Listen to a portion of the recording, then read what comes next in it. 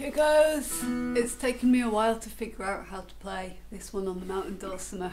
Like everything really, isn't it?